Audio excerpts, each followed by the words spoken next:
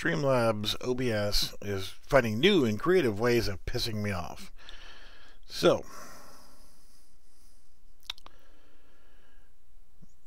I've already set up everything that I needed to set up for my stream, and now there's a whole new option window that pops up whenever I select to go start a stream. I don't know what it's doing, but whatever. Anyway, you're going to have to bear with me also. I'm still fighting this head, head cold. So, for those who are not familiar with my simple multiplayer Steam template, um, created a couple years ago, and about about two years ago, and I pretty much use it all the frickin' time. Anytime I'm creating a new project, I just start with a cloned version of my current version, and with that, I just build upon that because it's already got a, a simple menu system and everything built into it. And um, let's run it in standalone game mode just so you can see what it is. Now, the main reason why I created it is I needed something that I could use on a regular basis for creating all these temporary projects so that I would have a multiplayer system in place to test with friends. And this is what I created. And you can see it's got Steam info. This is my Steam username and avatar. It automatically finds those and shows those in the upper right hand corner. For, you know, if you launch it, it's going to show your Steam information. So you have to have Steam running in the background. And it uses a Steam Developer App ID, which is universal.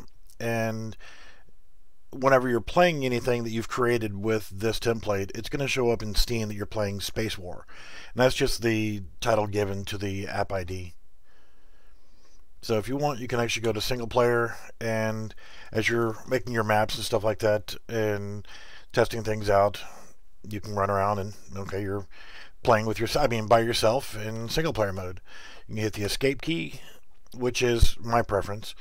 Um, you can change that. It's easy to change, but you can resume game and keep playing, or you can go back to the main menu. Right now, you just have single player, multiplayer, and when you go to multiplayer this pops up and you can use this to actually find a lobby that somebody else has already created. So you click on find lobby. It's a very simple system. I wanted to keep it as simple as possible.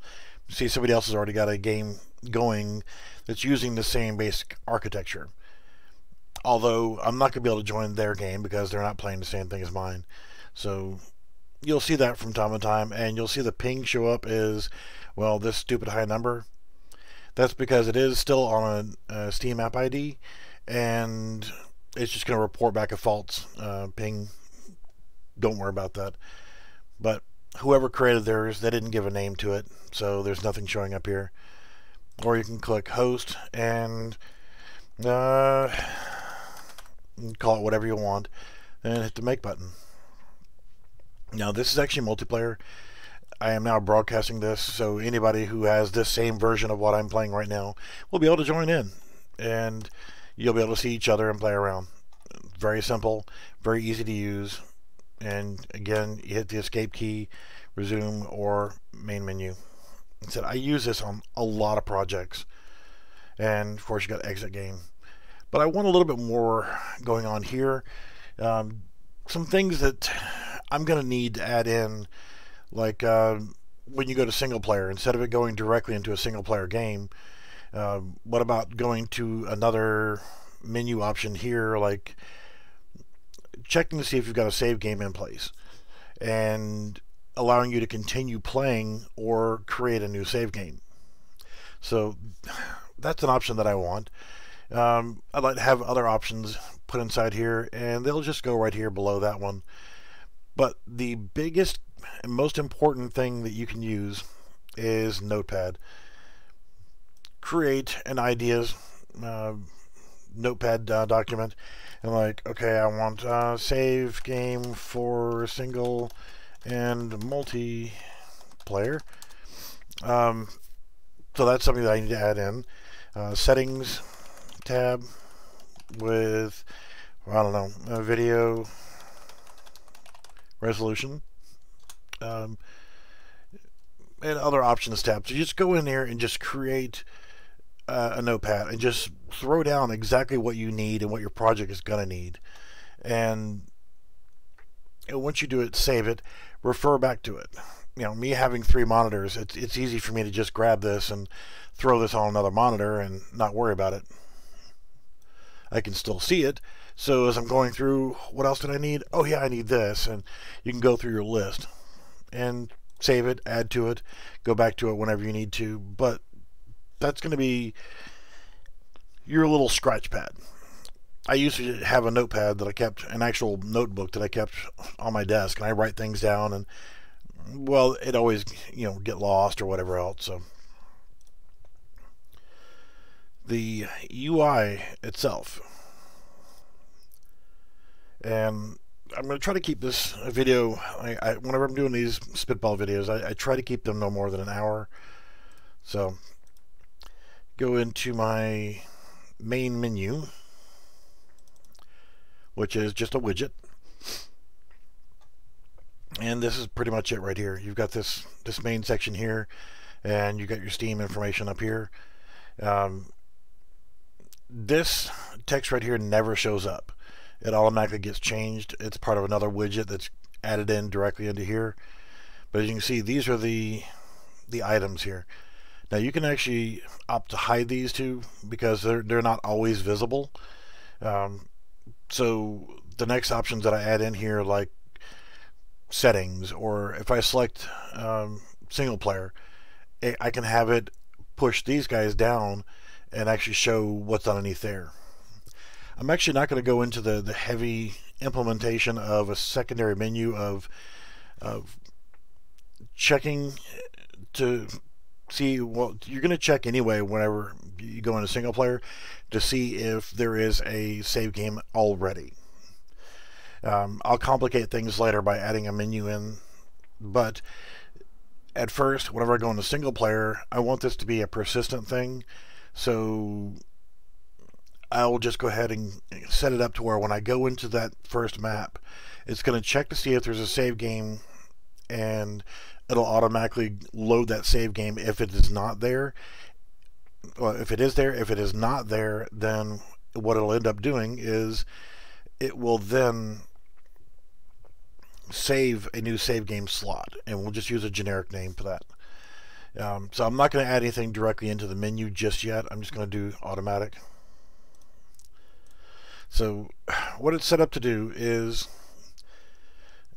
go into the lobby map.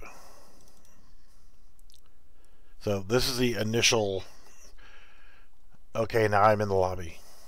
So the first step I'm actually going to do is, since single player and multiplayer is going to be slightly different, we can go in here and I'm going to change this text right there and go to my details. I'm going to change that to say single play, player map. Okay. Yeah, it doesn't have to be anything spectacular. I mean, I could change the the font around, make it larger, change the color, whatever. But next thing I'm going to do is just so we can have a visible representation that, hey, we are now in the single player map. So I'll just do File, Save Current As, and that's going to let me save another version of this same map. And we'll call this single map. I'm already in my maps folder. So now this is my single player map. And if I were to hit play from selected viewport, there we go. Oh no, lighting needs to be rebuilt. That's terrible. Um, yeah, because there's a lot of lighting influence in this map. So this is just straight up my single player map, and I can do basically the same thing. And Let's go ahead and just do a quick build. It won't take but a couple seconds. Um, and instead of having a lobby map, I'm going to keep the lobby map. Oh my god, you suck so much ass. I'm sorry, did I say that out loud? Gee, are you just about done yet? What I'll do is I'll go back and I'll change the text again and I'll save it as multi-map so that I have separate maps for everything, but I'm not going to get rid of my lobby map because at some point I'm going to use that as a transitional thing to where the lobby map is for multiplayer and be the actual multiplayer lobby. But for right now, I can leave it the way it is, and it should be fine. So now, whenever I go to play single player, I need it to go here. So the first thing I'm going to do is click on that, and I can click on it again, Control C, and then I'll go into my widgets from my main menu,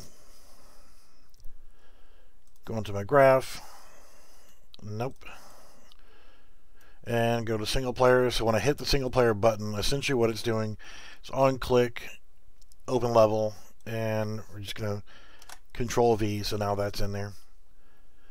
When we're changing it later, if you want to add more maps in, you can actually create a variable and call it map name and just plug that into here and then as you're creating your your which map are we going to play oh let's play the Foursquare map or let's play the, the Cowboy Town or whatever. And you can actually select from a drop down list or whatever kind of list you want and be able to create a way of choosing your map. So, um, so that's all I need to do for right here. Compile, save, and let's close that. When launching, always go to main menu map. Now if I play in standalone game,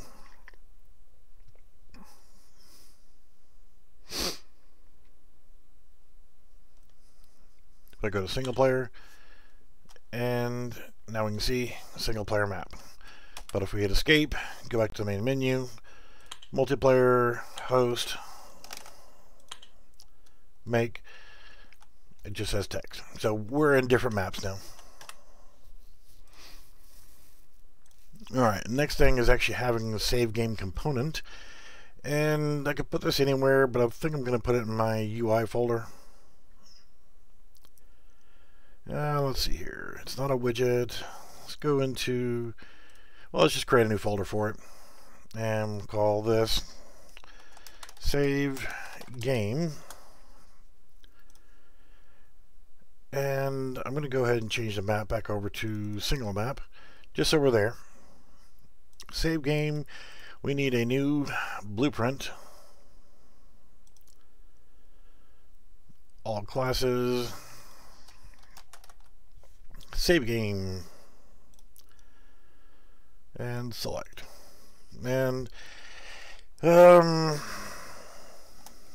default underscore sg I guess that's fine. For a default save game. And we open that up. What we're going to need to do is know what we need to save in the save game.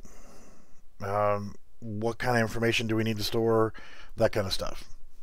And we're going to need those variables. So what I'll do also is bring up my character, character blueprints. All right, nothing special in here. My player stats, you got my character, which eh, we don't need to mess with those. Player stats, well, all we have is health. Um, nothing else in components. So this is really and truly the only stat that we have to work with. Um, let's go ahead and hit save on that. There's nothing really to compile yet, but um, so I'm just going to put in a variable. Now the variable name, you need to know that it's actually going to be a save game variable because you're going to be calling this save game information back and forth.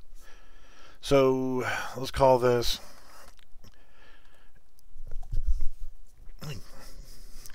Fly in my room. Uh, SG Health. And we know that that's going to be a float. So compile and save. SG Health. Alright, so we're just getting the, the basic setup in here right now. Our save game, our health. We're going to need a way of testing it here soon anyway. Um, we're going to need to create a function that is going to run on startup and we can inject it in here just to make a custom event. Um, probably a custom event instead of just a straight function and it'll just need to be inside here. Because normally on startup what we're doing here get our player controller get our player HUD add it to our viewport set our input mode to game only and hide the mouse cursor. Is essentially all we're doing there. And we can just add to that with another custom event that we'll create down here somewhere wherever we got some clear space. And we'll just do custom event save or let's say uh, save game check. All right, with save game check, we can now call that up inside there. So let's go ahead and compile and save.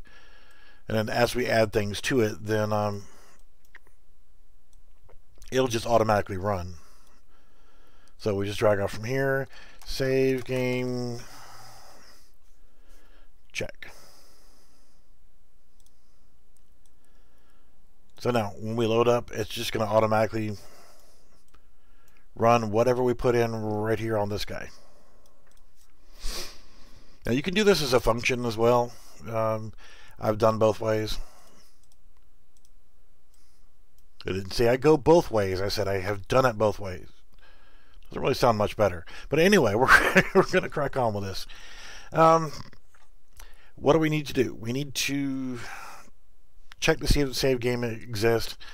Um, you know, learning a lot of stuff, you can do a lot of YouTube searches and, and so forth. But if you look, uh, see, save, just type in save game, um, and you know the stuff is right there in front of you. Uh, does save game exist? Okay, well we need to check to see if there's a save game.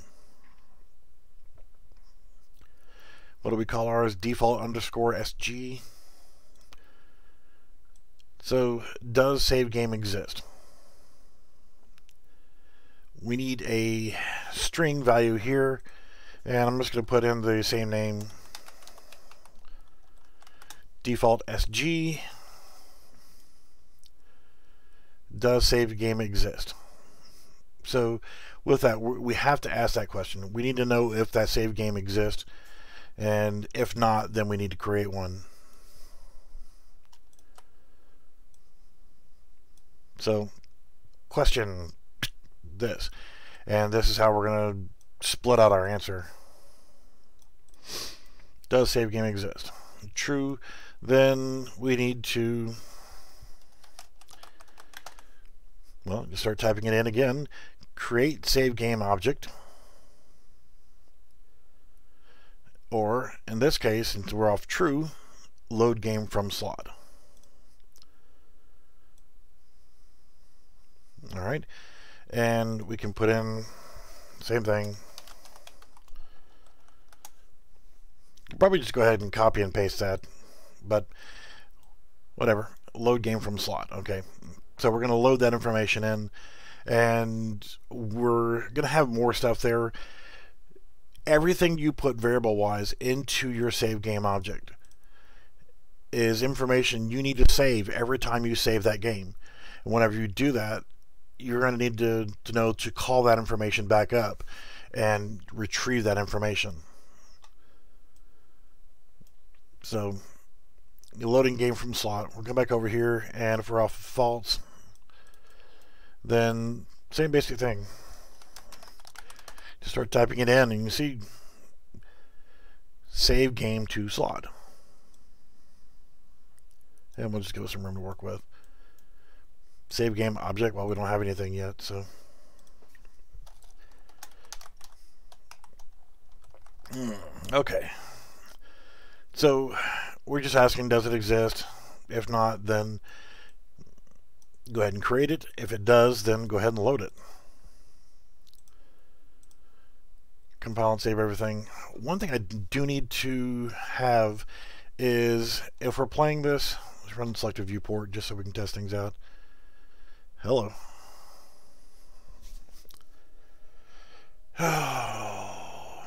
Unreal Engine 4, why are you messing with me? Seriously?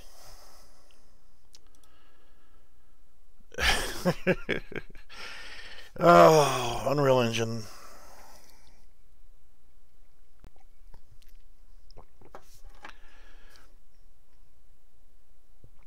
Uh, don't restore. You are the master of your own saves. All right, so we were in player.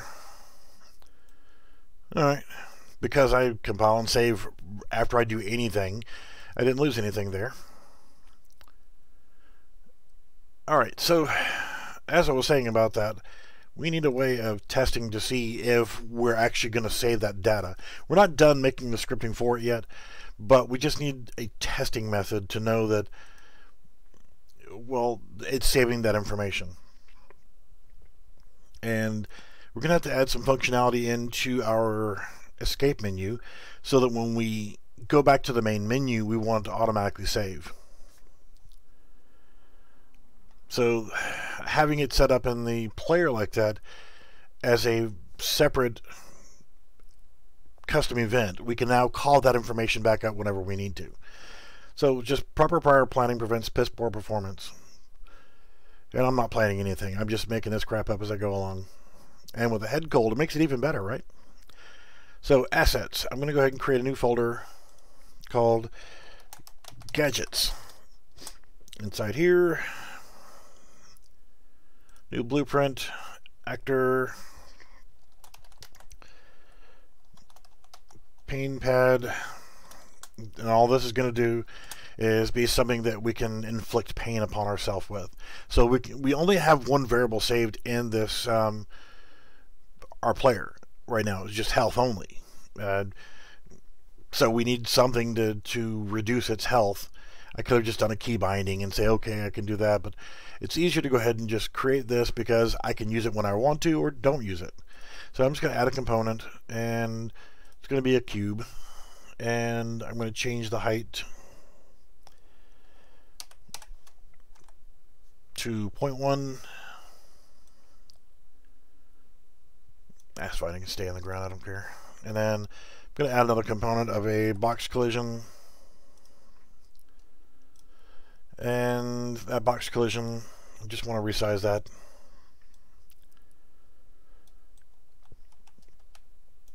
Mm. So now whenever we step into this little box here,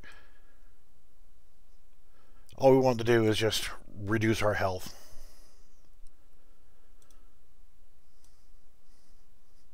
So that's going to be good enough.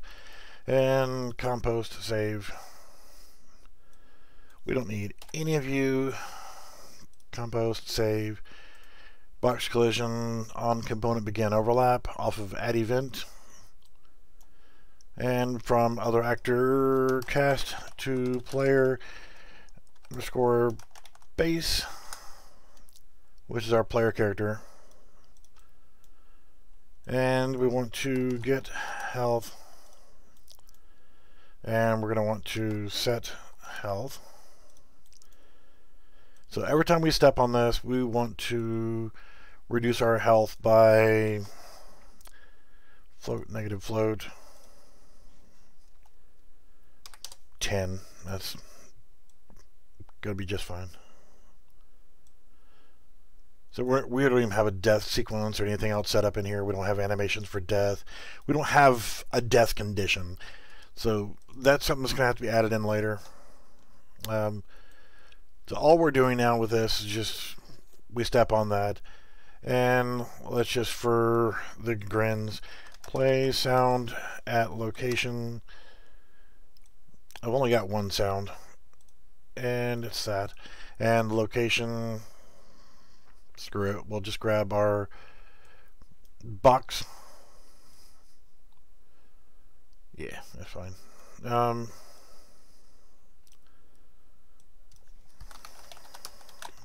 it's not really to matter in a single player environment on the um, the location because you're the only person that's going to hear it. But when you start doing things in multiplayer, you want to have sound attenuations applied to your your sounds, so that if it's and one of the, the pet peeves that I had was a, um, a kind of a popular. I won't mention the exact parameters of it, but it was a, a survival thing. And when you chose to eat something, there was no sound attenuation to it. So you're in a multiplayer environment on the uh, five miles from somebody else, and they pick up an apple and start eating it. You can hear them playing the sound of them eating the apple. Annoying as hell. All right, so compile, save. So now if we go in here and play, wow, you suck donkey nuts. You know, if this is going to be a continuing problem, then I'm just going to end the video and try it again later. Um, I'd kind of like it if frickin' Unreal Engine 4 would stop crashing. Single map, assets, gadgets. Throw that in there, and let's hit play.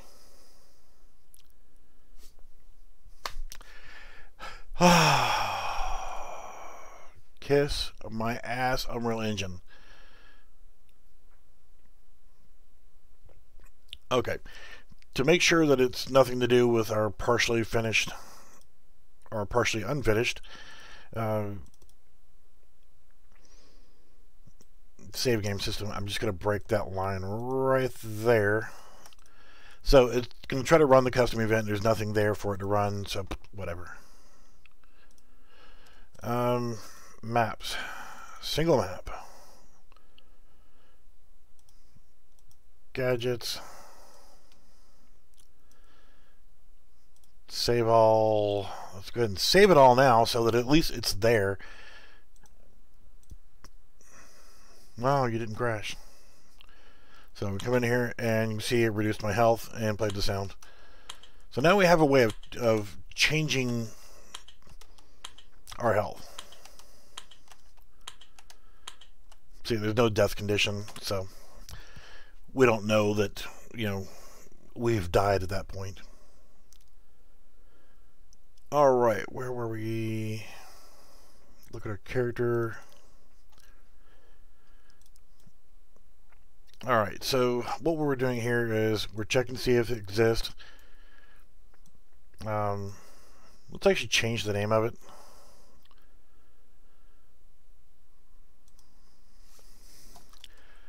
Let's just call it save, default save.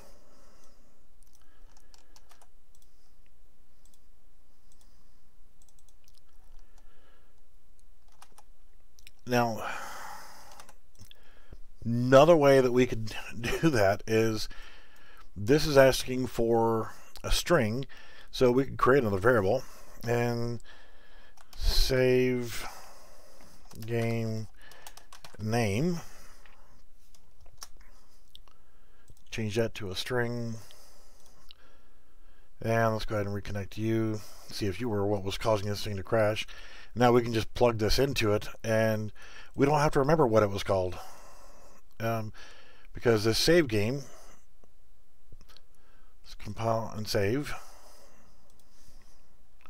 We save the data there, default save, compile, save. Now, anytime we need to, we can just plug it in there.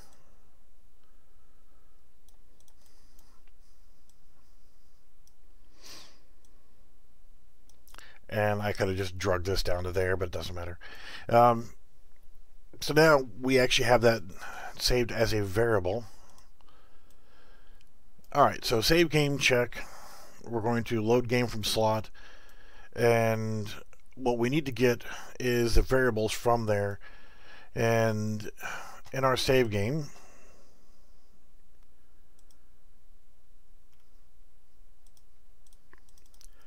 default save game. We've got that default or, or SG health. It is not set.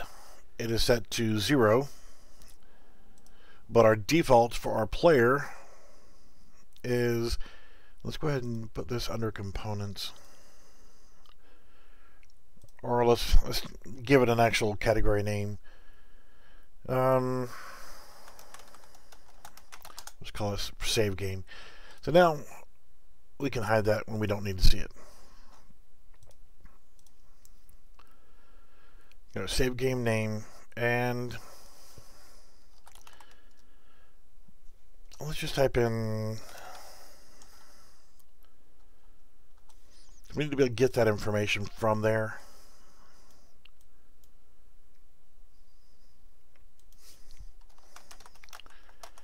Save game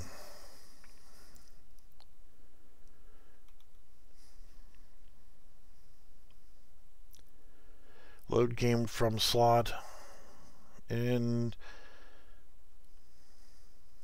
create save game object.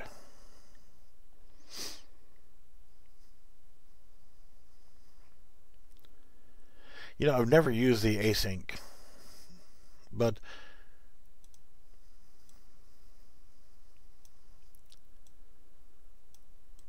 so we're creating a save game object and save game default SG.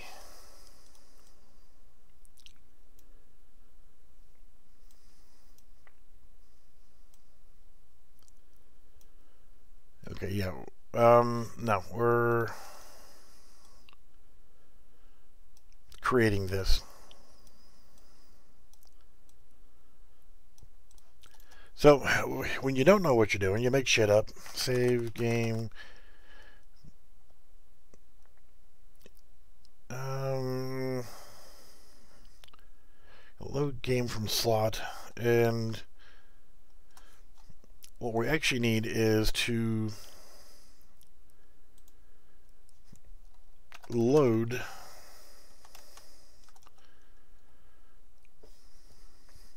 load stream level. Now, create save game object, and we're, we're actually saving the game to slot, creating save game object, and we still need to be able to call the information from there, which is our health. We need to set our health. Now you can see this is SG health. This is the health from our default save game. Come on, save. Then we need to be able to grab our player stat health. And we need to get that and set that. Now, the thing about a save game is when you're setting up your save game in your actual project yourself, when do you need it to load? Yeah, and UE4 just the more crap they add to it, it seems like they forget to keep the thing stable for some reason, and it just gets unstable over time. Things that used to work just fine break and no longer work because oh they forgot to add something in, but yeah, it's just weird. All right, so we're saving save game to slot. We're creating the actual save game. Um, got our save game name. Uh, we haven't created a save game object yet, but save game class default SG. We're able to pull from our return value to get um, to set our save game health to our player health.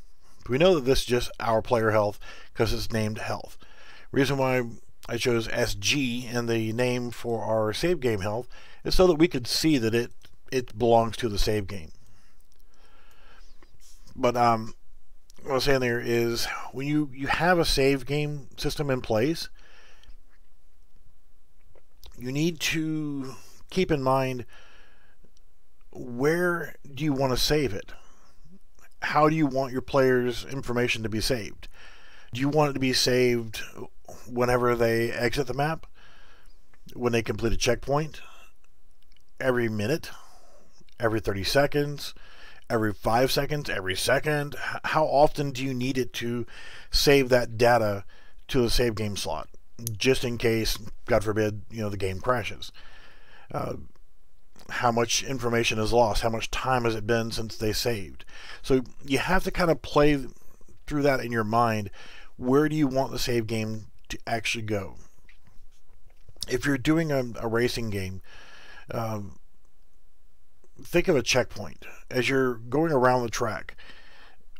If you just have a start finish line only, what'll happen is, like say this is your start finish line, your player goes through the start finish line. What's to prevent them from looping back around and just going right through and completing all their laps by driving in a tight circle around there like that? So you actually have to put checkpoints all around your, your map to make sure that they have completed those checkpoints but to have completion on checkpoint two did the player complete checkpoint one so you've got a lot of other stuff to take into consideration on on things like that but again just think about where you want your save game to actually go and when you want it to save this information. So right now, all we have is just that. And all we're telling it to do is retrieve that information. Um, so when we first start off, it's checking, do we have the save game? If not, then save the game to a slot. And we're going to call it whatever. You know, this is our save game name right here, which is default save. So it's going to create a save game slot called default slave, uh, slave, and you'll it'll actually create an external file for that. And what is it saving? Well, all of our player stats, which in this case is just health.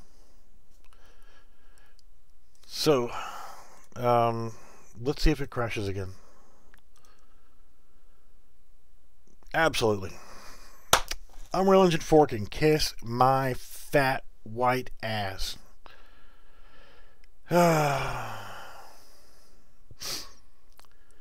Unhandled exception. Core UO or core U object.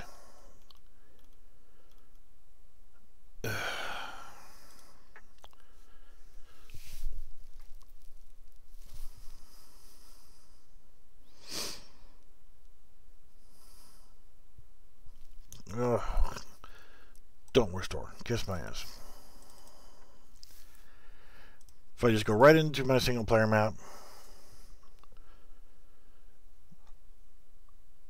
um, let's actually go back to my player.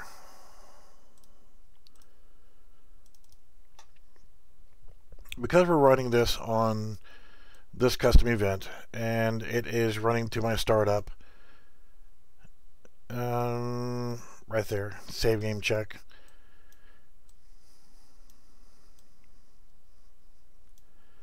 It's checking to see if the save game exists. I'm going to break this again.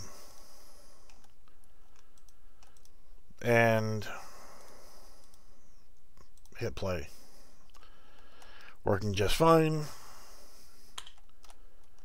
But what we want to do is actually, for my consideration of what we're doing right here, what I want to do is have it to where whenever I hit escape, it's going to bring up the menu and, and ask, do we want to resume game or um, do we want to go back to the main menu? Optimally, I want it to automatically save at that point, but you could manually add another button in and say, I want to save game. Um, you could also add a key binding, and whenever you hit that key binding, like F4, it automatically saves, throws a little thing up on your screen that says game saved, and that goes away. So when I have this in here is when everything breaks. Yep.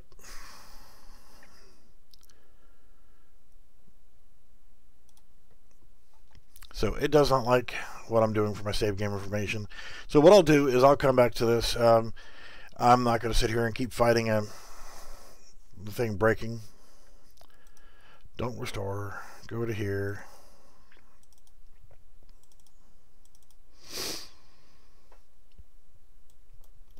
And I'm just going to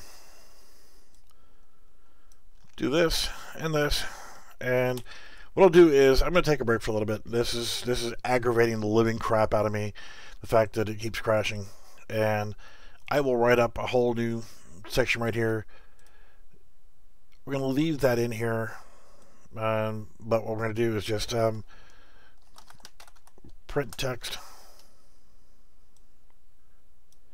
and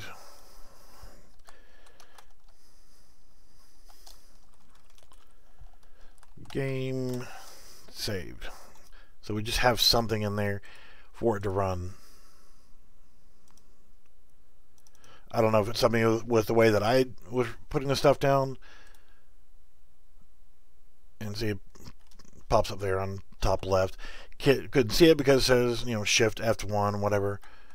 But it did at least say that right there.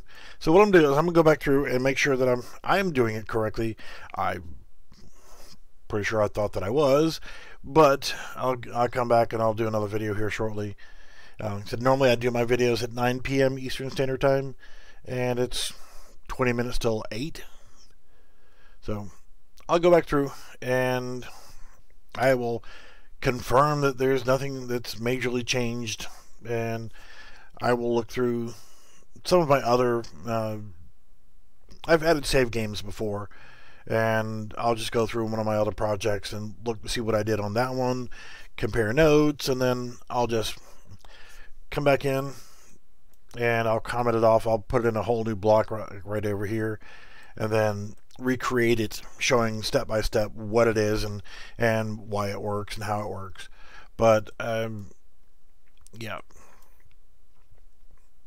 So I'm gonna take a break for a little bit. I'll come back. I'll do another stream here. I'll say probably about 30 minutes or so, and hopefully we won't keep crashing every freaking time I try to load the freaking thing.